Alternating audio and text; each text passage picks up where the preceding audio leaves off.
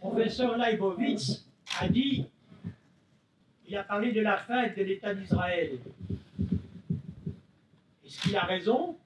Faut-il craindre des réactions fort violentes des pays opprimés? Est-ce qu'il en est?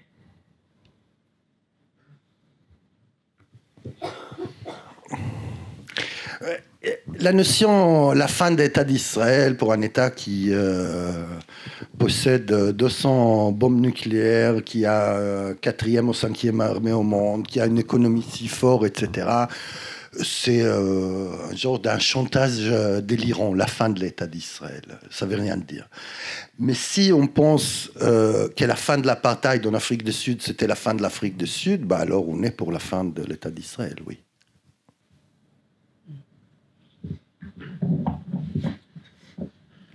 Ils ont complètement oublié qu'ils sont sur la terre palestinienne et que les Palestiniens sont complètement par leur comportement.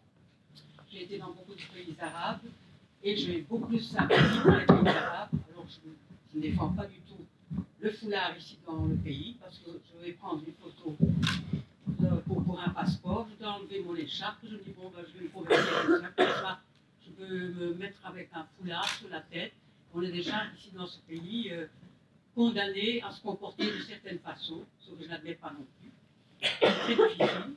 Mais je, suis allé en Israël, j'adore le pays, mais le comportement des gens vis-à-vis des Palestiniens, ça m'a carrément dégoûté. Donc voilà. Je trouve qu'ils se comportent en néo-nazis dans leur propre pays. Moi, j'évite, euh, j'évite ce genre de comparaison parce que je pense que ça pose un petit problème, puisqu'avec des nazis, on ne fait pas la paix. Donc, euh, voilà.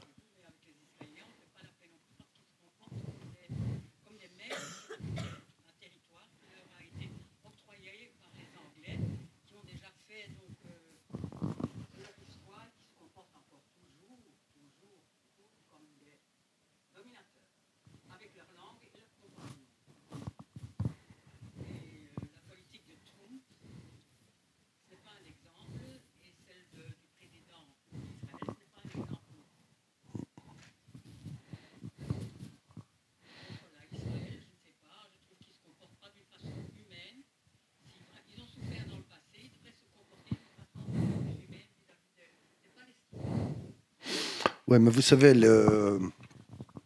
l'idée que la souffrance de passé est un vaccin pour euh, euh, ne pas commettre de crimes dans l'avenir est un leurre. Euh, ça n'existe pas. Au contraire, presque.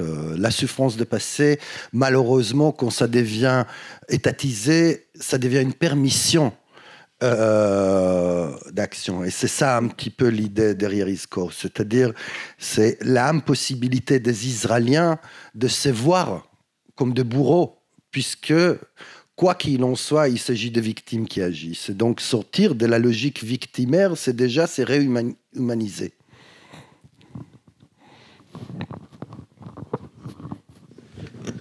Les sirènes sont toujours, oui. Les sirènes sont toujours. Elles sonnent quatre fois. Dans le film, il y a deux euh, sirènes, mais elles sonnent quatre fois. Elles sonnent les matins et les soirs de jours de commémoration, c'est-à-dire la veille des jours de commémoration de la Shoah et de l'héroïsme, les matins, les soirs à la sortie et euh, les matins des jours de commémoration des soldats et euh, les soirs avant les jours de l'indépendance. Oui, les sirènes, elles sonnent toujours et les gens s'arrêtent toujours de cette façon, comme vous voyez dans les films.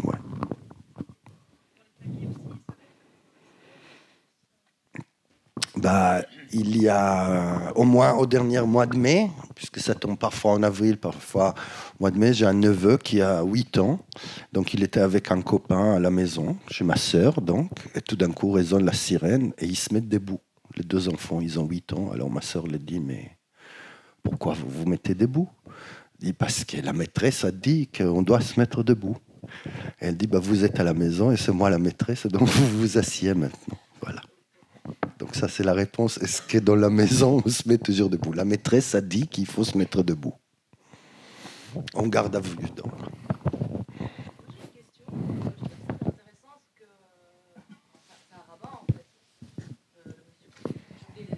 Oui, Leibovitch. Entre autres, c'est un rabbin, oui.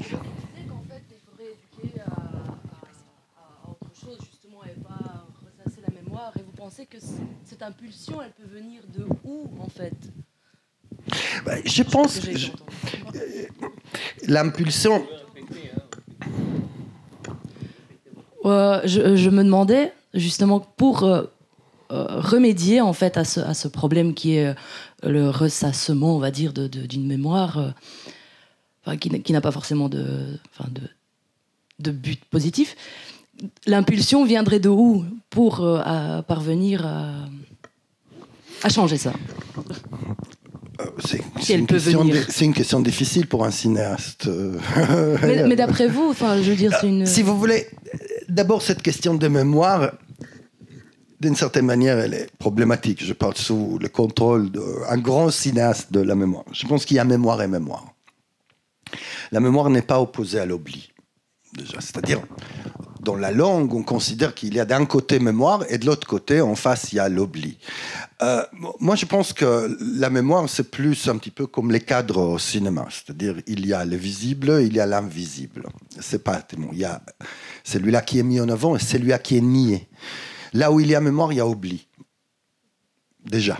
C'est-à-dire, la mémoire n'est pas l'opposé de l'oubli, mais la mémoire est justement cette interaction entre préserver et effacer, préserver et effacer. Donc la question, qu'est-ce qui est préservé, qu'est-ce qui est effacé? Je vais vous donner un exemple concret. C'est-à-dire, ce qu'on a vu là, c'est en réalité une éducation qui se fonde sur un segment de l'expérience, si vous voulez, juive en Europe, qui n'est qu'un segment de l'histoire de ces groupes euh, qui sont les juifs. Si on aurait pris une mémoire autre, d'une certaine manière. On aurait inversé pas l'invisible, mais on aurait mis le visible. Par exemple, une histoire qui est l'histoire des Juifs en terre d'islam. Eh bien, à partir de ces moments-là, tout change. Il n'y a pas la Shoah en terre d'islam. Les plus grands écrits de judaïsme rabbinique ont été faits en terre d'islam. Si c'est les Talmuds lui-même, à la table les dressés, etc., et écrits en arabe. C'est-à-dire qu'il y a une expérience aussi arabe juif arabe en terre d'islam qui peut nous raconter quelque chose qui est une expérience complètement différente et donc un avenir différent. Là, ce qu'on voit, c'est une instrumentalisation de la mémoire, c'est une utilisation de la mémoire comme un facteur politique. Et ça, c'est pas seulement Israël. C'est-à-dire, ça, c'est quelque chose qui est généralisé, c'est au cœur de nationalisme, et c'est au cœur de colonialisme de peuplement qu'Israël en fait partie de ces cinq pays, ou six pays aujourd'hui dans le monde, qu'on peut les caractériser par le colonialisme de peuplement. Et le colonialisme de peuplement, une partie, c'est donner une nouvelle mémoire qui sera une mémoire collective et qui efface la mémoire individuelle. On le voit aux États-Unis, on va le voir en Australie, on va le voir en Argentine et dans d'autres pays qui sont le, colonialisme de peuplement. Vous me posez la question donc, mais comment on peut inverser? Il n'y a, pas d'intérêt en fait à l'inverser. Bah, d'abord, il n'y a pas l'intérêt d'État. Deuxièmement, on parle d'un ton qui est un autre ton que les tons de l'action politique elle-même, qui est les tons de la culture et les tons de l'éducation, qui sont des tons beaucoup plus longs beaucoup plus long que les, tons de, de, la réaction. Et c'est pour ça que je pense qu'il y a deux choses. D'un côté, c'est une certaine défense justement de la perversion que l'État d'Israël a fait de judaïsme, c'est-à-dire une certaine défense d'un judaïsme, moi je parle d'un judaïsme certain, qui est en réalité une présence, une présence hétérogène, internationaliste, non, non territoriale, ça c'est une chose. Et deuxièmement, je pense qu'en effet, face à une telle violence faite sur la population en fond, d'une certaine manière, il faut une contre- euh, euh, violence, si vous voulez, au, un contre-pouvoir. Et aujourd'hui, les seuls que moi je vois, et celui-là que je défends, c'est en réalité la pression réelle sur la population israélienne, sur la seule forme politique que je la vois pratique aujourd'hui, qui est le boycott des investissements et sanctions. C'est-à-dire faire peser sur la société israélienne les prix de ses choix. Donc vous êtes pour le boycott de, Oh, je simplifie. Hein. Je ne suis pas pour, je suis un ardent défendeur. Merci. Ce qui est effacé dans toutes ces commémorations, c'est que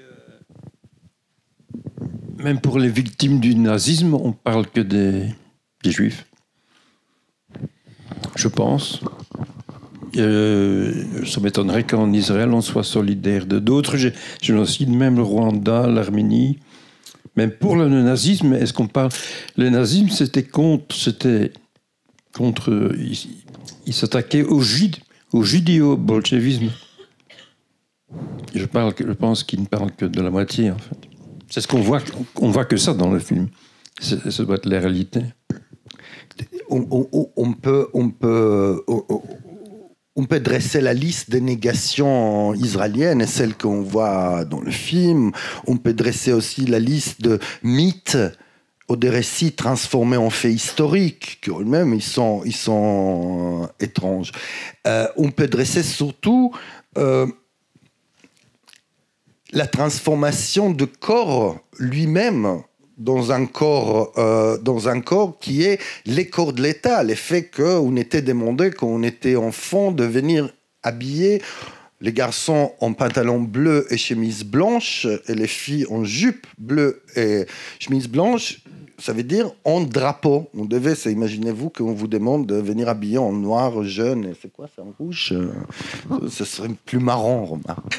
Mais nous, on devait venir habiller en drapeau. C'est-à-dire, ce que j'essaie de dire, c'est que Israël ne s'est jamais intéressé au fascisme. Israël ne s'est jamais intéressé au, nazisme. Israël s'est intéressé aux souffrances juives. Si Israël serait intéressé au fascisme, peut-être on ne serait pas là.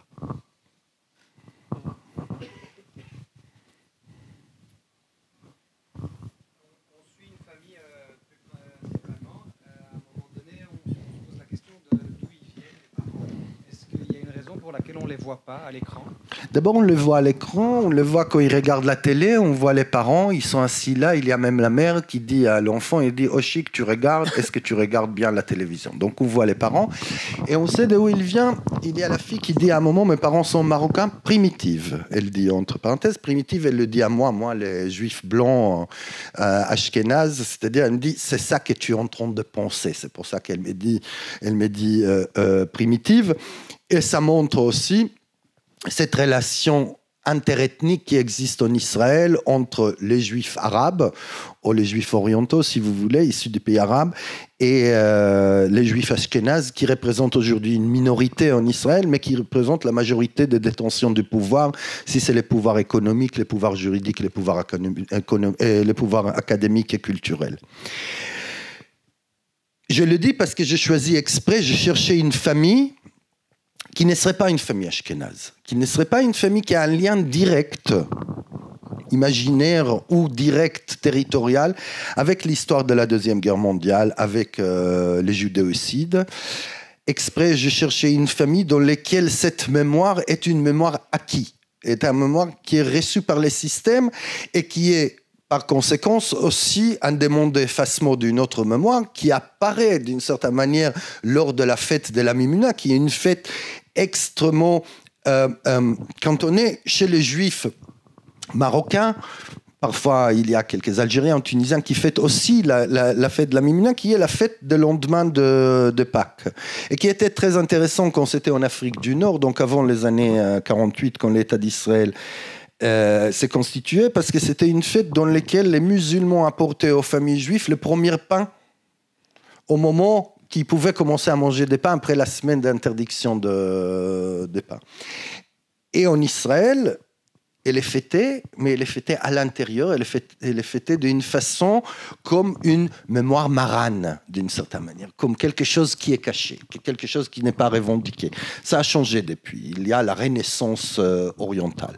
Mais là, on a exactement cette euh, existence arabe qui doit être cachée, dans la maison, on peut être arabe, on le voit dans la fête de la Mimuna, dans la chanson, dans la façon d'être habillé, mais quand on sort dans la rue, on doit détester l'arabe. Ça, c'est d'une certaine manière la schizophrénie terrible de la majorité de la société juive israélienne aujourd'hui, qui sont les juifs orientaux, comme dit euh, euh, un ami qui est un grand penseur de, la mouvance juive orientale, qui est Saint-Michel Omchitrit, il dit, ben voilà, on se lève le matin, on voit un arabe dans la glace, on s'assoit pour manger les petits déjeuners, on mange de la bouffe arabe, et on doit sortir de la maison, on doit détester l'arabe.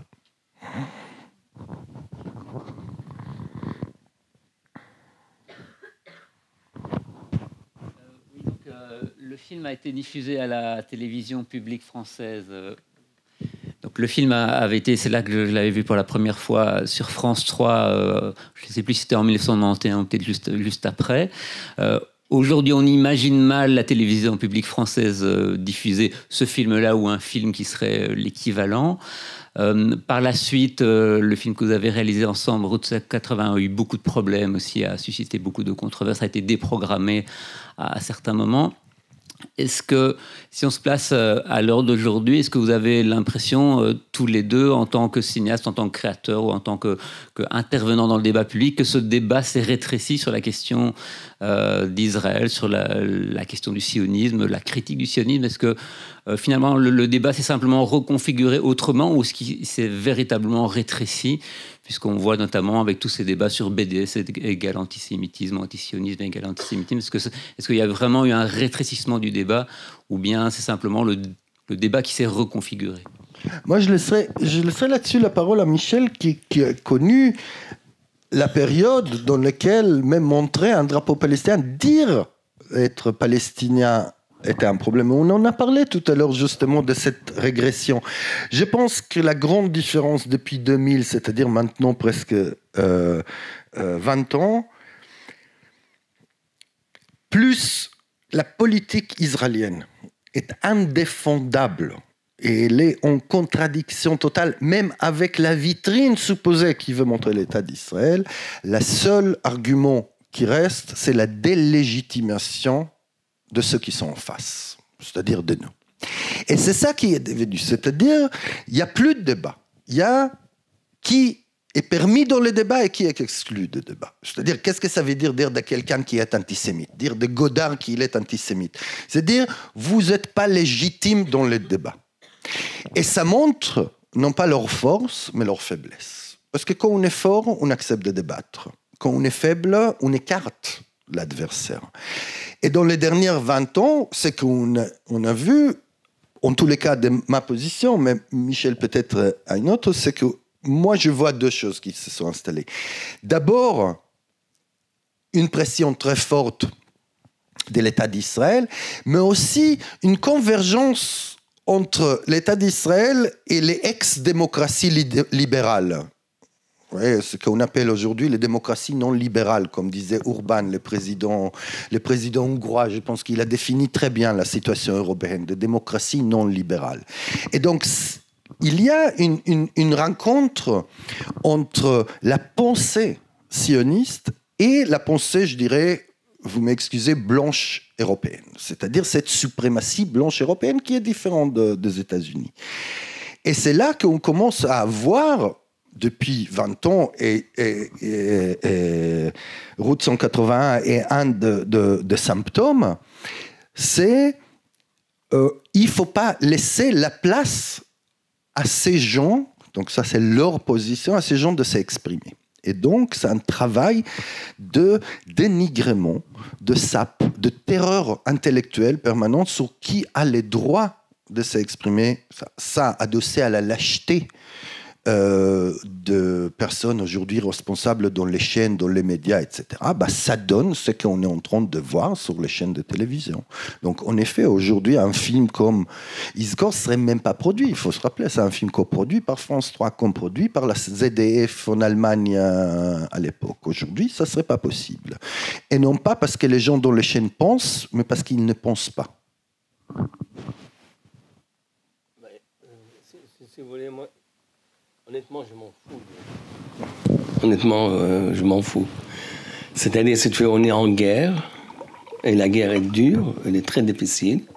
Il y a une guerre réelle, il y a une guerre économique, il y a une guerre financière, il y a une guerre idéologique et culturelle, etc. Ils sont forts parce que les profondeurs stratégiques hein, sur lesquelles s'appuie euh, Israël est, très très fort. Hein. Ça va de, l'Europe jusqu'à les États-Unis et, même maintenant on s'en rend compte dans le monde arabe. Donc euh, pour nous, on les savait, mais maintenant ça devient, disons, euh, en plein jour. Donc euh, pour quelqu'un comme moi, par rapport à mon histoire, grandir, euh, disons, à l'ombre de la victime absolue, hein, euh, et son- sa, victime en plus. Vous vous imaginez quel, quel, quel bonheur. hein. Donc, euh, euh, c'est-à-dire, pour moi, il faut deux choses. D'abord, ne pas oublier qu'il faut humaniser l'autre et soi à la fois. C'est-à-dire, malgré tout, au-delà des régimes et des systèmes, etc., des, des- disons, abstraits de la guerre euh, horrible, parce que finalement, les enjeux, c'est des milliards de dollars par jour euh, autour de, pétrole de, Proche-Orient. Et que le, le cynisme, c'est qu'on détruit tout et on essaye de dire, euh, voilà, un récit presque archaïque. euh, voilà, euh, Erdogan qui entre dans le nord de la Syrie, euh, les Kurdes, ils s'en vont, les, ils sont obligés de, faire la paix avec euh, l'horrible Assad, etc. etc. Enfin bon, c'est des histoires vraiment pas plus. Parce que la réalité, on ne le dit pas. C'est-à-dire qu'on détruit tous ces pays pour euh, les, donc, euh, les intérêts de l'impérialisme de toutes sortes. Y compris. Alors, ce qui, me- personnellement, me touche terriblement, c'est que depuis une vingtaine d'années, euh, on voit tous que l'évolution de nos pouvoirs, c'est, c'est-à-dire il y a une, oligarchie qui est en train de s'installer un peu partout, qui est mafiosie. C'est des mafias. C'est vraiment des mafias entre eux. Et nous, qu'est-ce qu'on a? On n'a rien du tout. On a le cinéma. Et en plus, on est tellement marginaux euh, dans, le cinéma.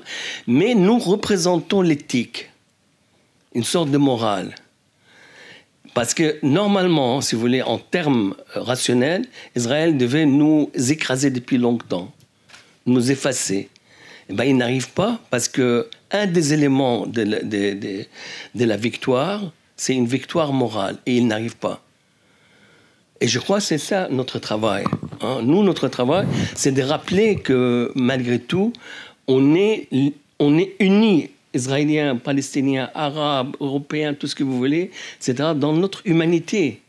On ne peut pas dépasser notre humanité. Et c'est là où, de nouveau, moi je pense, en tant que devoir humain, il faut boycotter Israël. C'est éthique. Ce qui n'est pas éthique, c'est de ne pas boycotter Israël. Hein?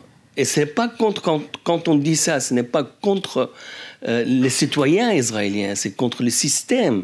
C'est un système terriblement, mais vraiment pervers. Écoutez, aujourd'hui, par le hasard des choses, j'ai lu à propos de, des MeToo et le rapport avec Weinstein. Le, père de Weinstein était euh, un, agent de Mossad dans les années 50.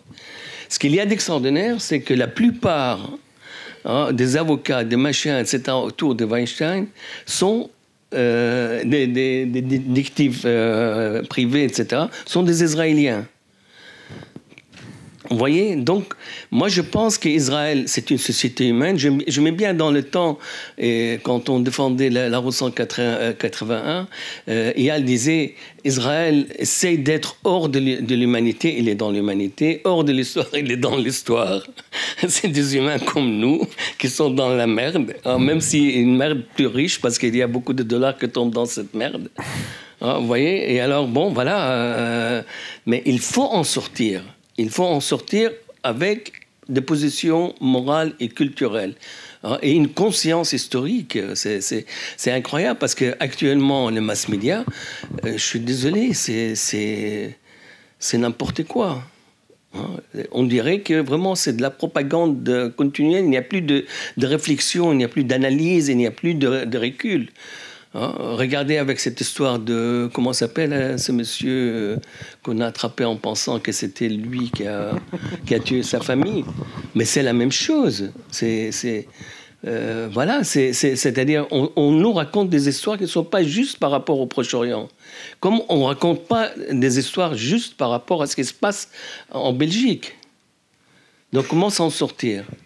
Je crois qu'il faut revenir au ce que je disais, au devoir de courage et, le courage d'avoir un devoir et le défendre. Voilà, c'est, et c'est pour ça il faut faire des films, il faut écrire, il faut continuer à, aller le plus loin possible avec sa conscience pour qu'on ouvre encore des horizons. Alors pour le moment, l'horizon le plus, le plus clair pour nous, c'est, c'est une position éthique forte euh, par rapport à Israël. C'est-à-dire, euh, ils doivent arrêter la colonisation. Hein? Et puis, il faut qu'ils remettent en question leur, leur, leur, récit. Le récit, il est plein de, mensonges. C'est que de mensonges, de la propagande. Hein? Ça ne veut pas dire, si vous voulez, par exemple, euh, par exemple bon, on, est tous d'accord qu'il faut sortir du nationalisme. Hein? C'est-à-dire l'identité, c'est simplement, c'est retrouver un équilibre. Mais ce n'est pas une négation de l'autre. Hein, eux, voilà, ils font une négation de l'autre. Nous, on n'existe pas pour eux. Mais nous existons, parce que moi, je n'ai pas peur, j'ai jamais eu peur de, de, ce que je suis, etc. Donc, euh, pour moi, 3000 ans, ben, je resterai 3000 ans. Voilà, euh, mes enfants, mes petits-enfants, etc. C'est parce que ce n'est pas un problème de, haine, c'est un problème de justesse et de justice. Hein? Où, où, se trouver? Et moi, je, pense qu'il faut se trouver du côté des de, de plus démunis. Voilà.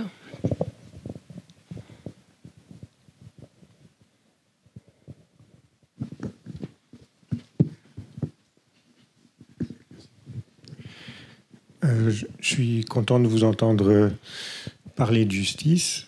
Je vois pas en quoi le fait d'être démuni rend plus juste.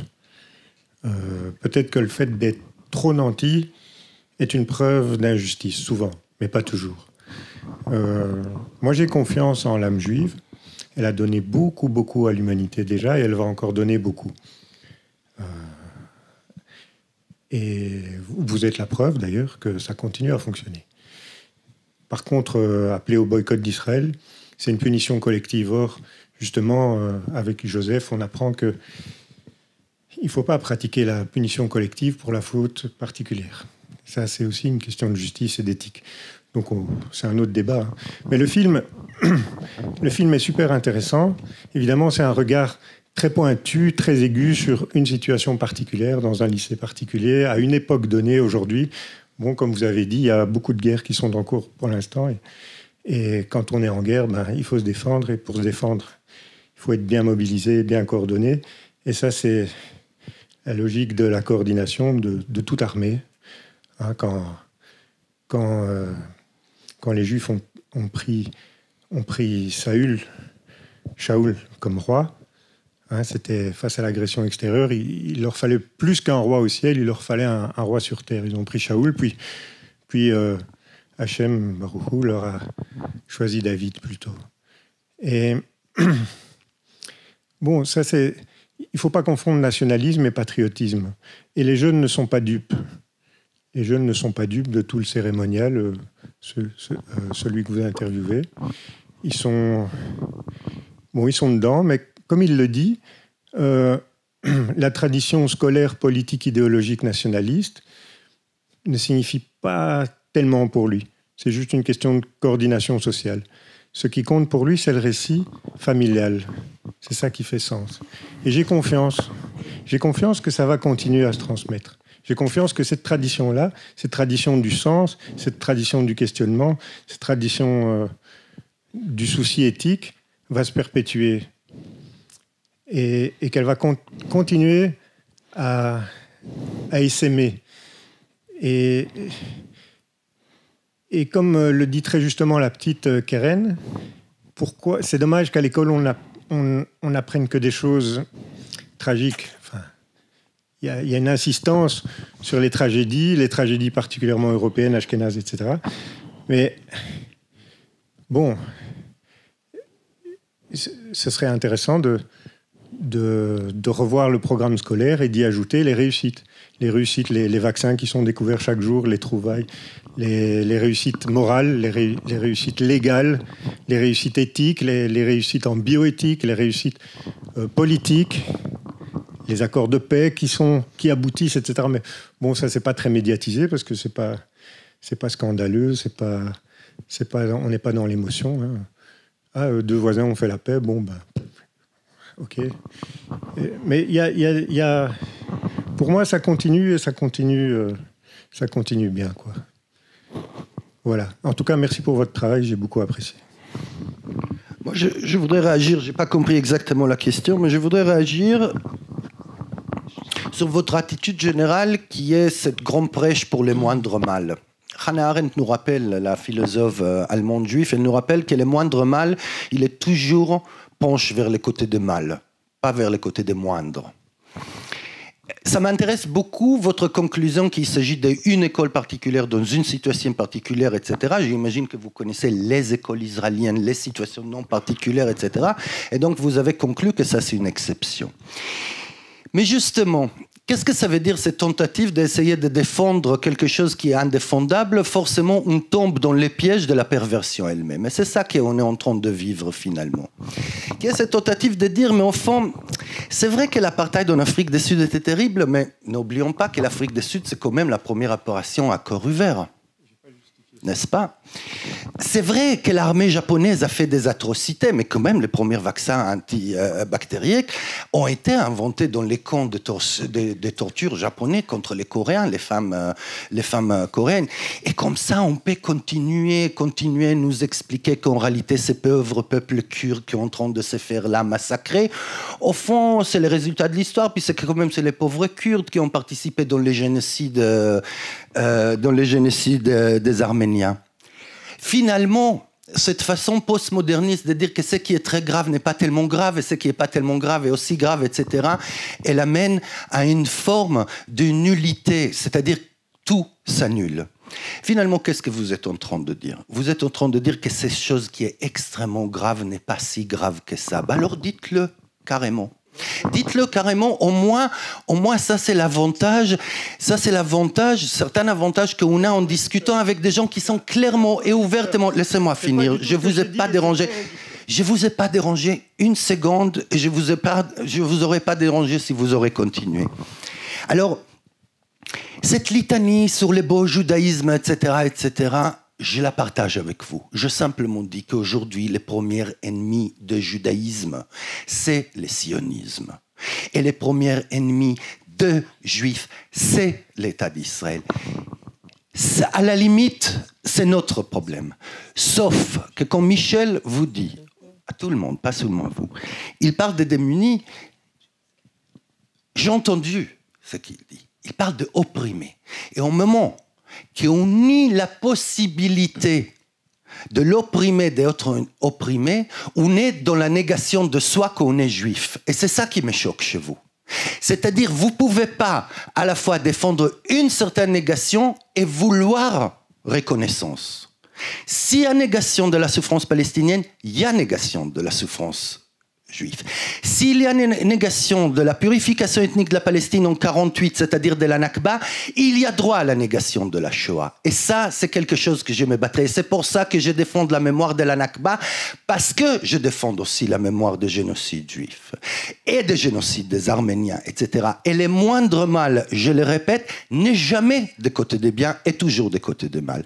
Donc, il y a assez de propagandistes pour parler de tomates cerises et de Waze et des magnifiques soleils de Tel Aviv et de ces pays qui est extrêmement, gay-friendly, etc. Pour ça, il y a les propagandistes. Nous, on est en face. On n'est pas de ces côtés-là. Ça, c'est notre rôle comme cinéaste. Notre, notre rôle n'est pas justement renforcer la propagande. Ça, c'est la partie la plus facile. On aurait été beaucoup plus riche si on aurait été de ces côtés-là.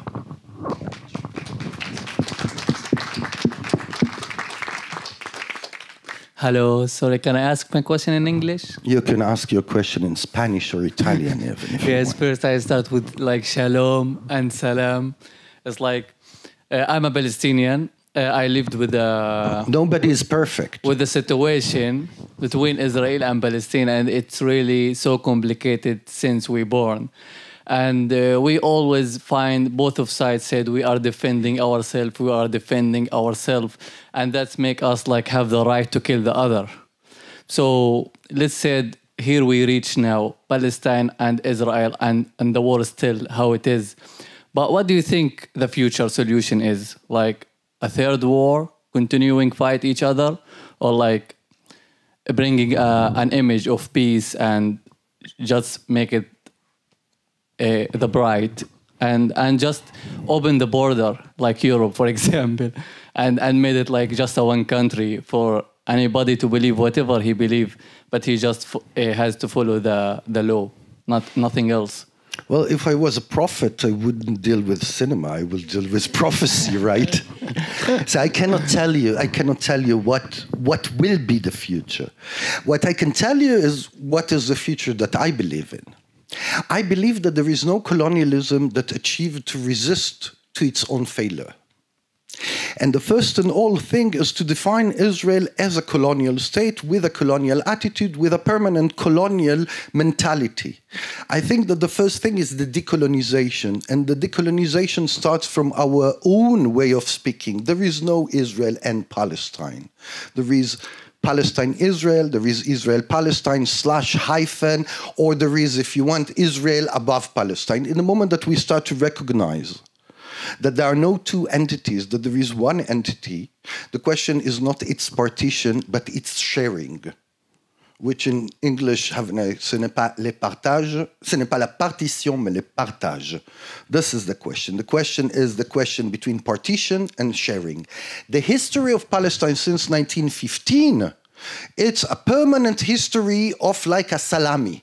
You know, a cut and another cut, and we will cut the cut, etc. And in the end, you have nothing left.